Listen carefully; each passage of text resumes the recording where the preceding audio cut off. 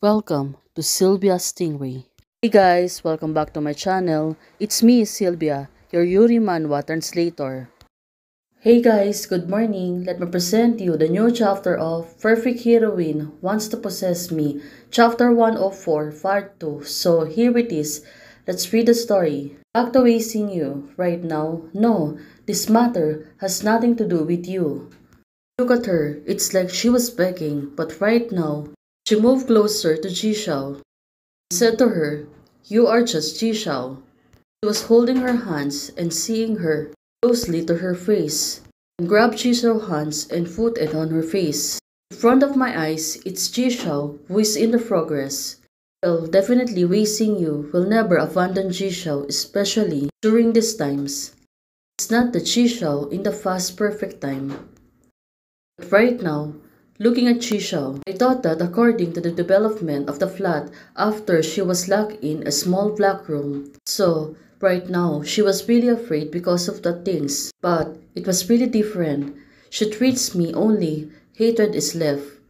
Well, definitely, it was not right, and everything's changed. Well, right now, she moved closer to her. I didn't expect her to still love me. Now Chisha, she keeps facing you, and it makes sense. Two of them suddenly falls down on the floor.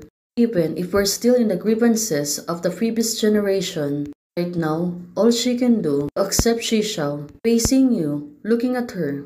Since she already vulnerable, right now she was calling Shisha and said to her, I want you to mark me. Oh, this is great, right? Right now, it's like she was begging and said please to her. But Jishao, she was only looking at her. Well, it seems that Jishao a little bit, but still, she was still holding herself. Until now, she really wanted to restrain herself, not marking Wei Xingyu. Suddenly, she lifted off. That caused fat. Well, could it be that? She will really do it right now. Jishao, she get it on her teeth. She tear off the bandage. Well, this is really interesting and if she really willing to do it. Right now, Wei Xingyu was calling her name, Jishao. Still Jishao, she was still sticking to her. On the other hand, Jishao said to her, Don't be afraid. Oh, it means that she really want to do it. That's why right now she tell her that don't be afraid.